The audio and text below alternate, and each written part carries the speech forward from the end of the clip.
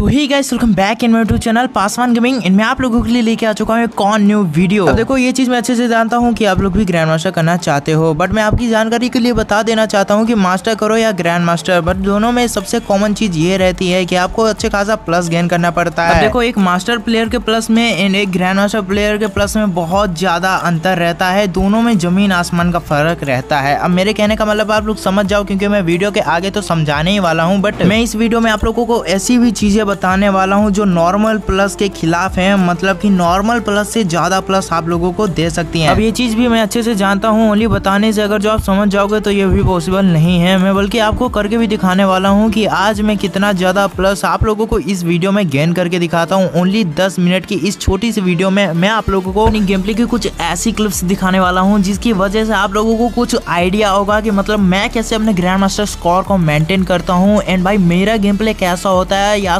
Solo हो Duo हो score हो कुछ भी हो मतलब मैं अगर जो खेलता हूँ तो मैं अपना प्लस कैसे गेन करता हूँ वो भी हाई लेवल का plus not normal plus so guys यहाँ मैं अपने गेम प्ले के कुछ क्लिप्स दिखाने वाला हूँ जिनमें से पहली क्लिप ये थी जहाँ मैंने ऑलरेडी छह किल कर लिए हैं एंड अब बचे हैं लास्ट के सिर्फ़ बारह बंदे जिनमें से तो दो हम ही हैं तो बस टॉप टेन में हम आ चुके हैं। देखो यहाँ लूट के नाम पे सिर्फ़ मेरे पास थॉमसन थी क्योंकि मैं रिवाइव होके आया था बट मैं अपनी सारी लूट यहाँ उतर के कंप्लीट करने वाला था क्योंकि यहाँ काफ़ी सारी लूट पड़ी थी एंड साथ ही में कुछ सामने बंदे भी थे बट अब उनको मैं कैसे मारूँगा, वो मैं आपको बाद में बताता हूँ। पहले हम अपनी लूट कंप्लीट करते हैं। क्योंकि यहाँ मैं कोई भी बेवकूफ़ी नहीं करने वाला हूँ। पहले अपनी लूट पूरी तरीके से कंप्लीट करूँगा एंड बाद में ही वो बंदों को छेड़ूँगा। किल के नाम पे मेरे पास ऑलरेडी किल थे बट जब ये बंदा मेरे को टारगेट करता है तो मैंने इजी पीजी यहाँ पे उसको उस कार से मार दिया। अब देखो, मेरे पास कार नहीं होती तो आप ही लोग सोच सकते हो कि यहाँ मेरा क्या होता। अब देखो, यहाँ पे मेरे पास वो सारी लूट आ चुकी थी, जो लास्ट जोन के प्लेयर के पास होनी चाहिए। एंड अभी भी एक बंदा वहाँ पे था, जिसे मैं इजीली मारने वाला हूँ बस बहुत सोच समझ के। अब देखो यहाँ पे वो बंदा जैसे ही मुझे टारगेट करता है तो मैं पहले हेडशॉट मारता हूँ एंड भी डायरेक्टली रस मार देता हूँ। देखो यहाँ एक प्लेयर से फाइट कर रहा होता तो इजिली संभाल लेता बल्कि पीछे से और भी प्लेयर मुझे डैमेज दिए जा रहे थे जिनके बारे में मुझे थोड़ा भी अंदाज़ा नहीं था नहीं तो मैं इतना रस करके नहीं मारता बल्कि कवर में होके मारता। अब यहाँ मेरा जो टीमेट था वो मुझे रिवाइव देने के लिए जोन के बाहर आया था एंड जैसे ही वो मुझे रिवाइव देता है तो यहाँ मैं उस जगह पे लैंडिंग करने की सोचता हूँ जहाँ मेरी लूट भी हो जाती और भाई यहाँ मेरे को अच्छा खासा कवर भी मिल सकता था तो मैं ड्रॉप के कोने में उतरता हूँ, जहाँ मुझे लूट के नाम पे सब कुछ मिल चुका था, मेरे ख्याल से तो। और भाई कवर भी अच्छा खासा था सो मैंने यहाँ अपनी लूट कंप्लीट करने के बाद सामने की ओर एक बंदा देख लिया था, जो कि जोन के अंदर आ रहा था। अब देखो, इसे मार पाता, उससे पहले ही पीछे से मुझे डैमेज पड़ने लगता है तो मैं थोड़ा आगे आगे यहाँ एक मेडी खींच लेता हूँ बिकॉज़ मेरे पास एक लास्ट मेडी है, जिसका यूज़ करना ही पड़ेगा, मेरी एच कम थी। एंड अब देखो, इस बंदे पे मैं रस मारने वाला हूँ, क्योंकि ये चीज़ मैं अच्छे से जानता हूँ, ये भी मेडी घिस रहा है।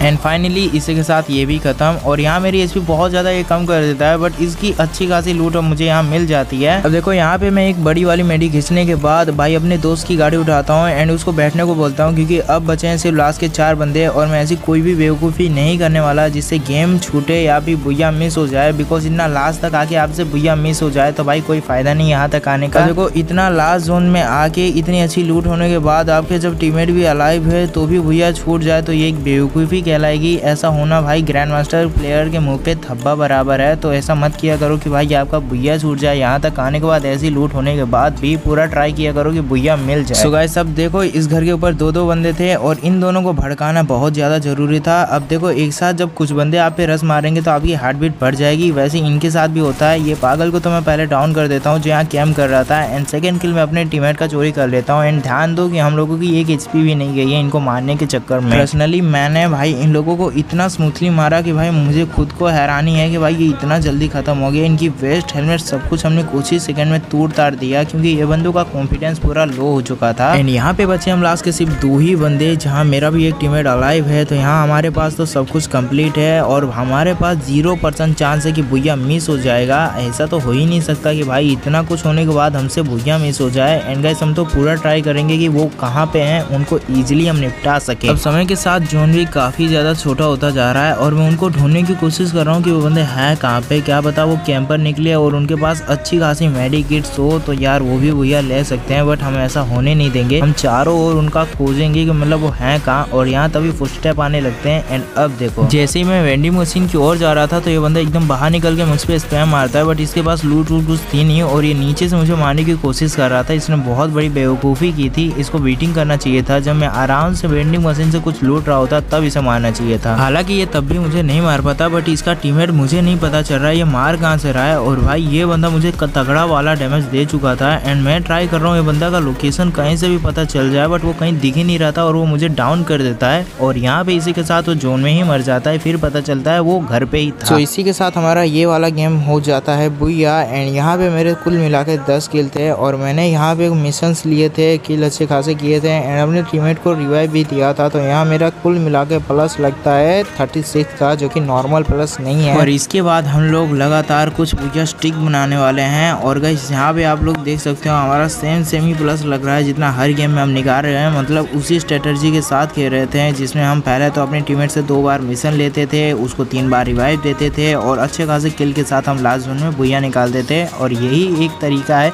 आपको हाईएस्ट प्लस दिलाने का, जिसकी मदद से आप एक अच्छा खासा प्लस गेन कर सकते हो। एंड गैस आज का टारगेट रहेगा तीन हज़ार स्कोर करने का। एंड गाइस तीन हज़ार स्कोर करने के बाद कल का टारगेट रहेगा भाई सीधा दो हज़ार पे आने का। तो मिलेंगे कल वाली वीडियो में। Bye bye